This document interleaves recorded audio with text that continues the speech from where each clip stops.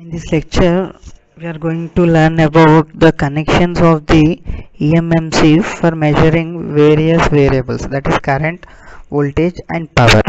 Like how we need to connect them for measuring what? Various variables in a single diagram. It is very easy to observe. So if first of all if you observe the voltage measurement there both the coils are connected in series okay L is connected to the V and again that C is connected to the neutral. That means the complete circuit is in series. Because coils are connected in series.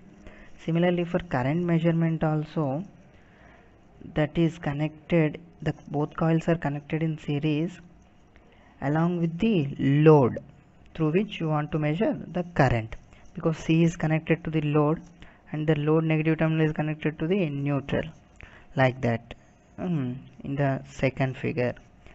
So coming to the third figure where we, if we require to measure power how to connect EMMC here the coil should be connected in parallel different from voltage and current measurement.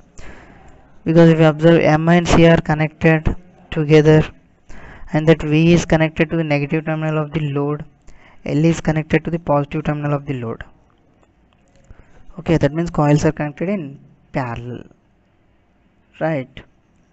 Okay similarly for power factor measurement also we need to connect coils in parallel. That is important. Okay. Uh, right. That means we can based upon the connections that we have done we can measure all the variables that is voltage current and power using EMMC that is the advantage of this. Okay. Right. Thank you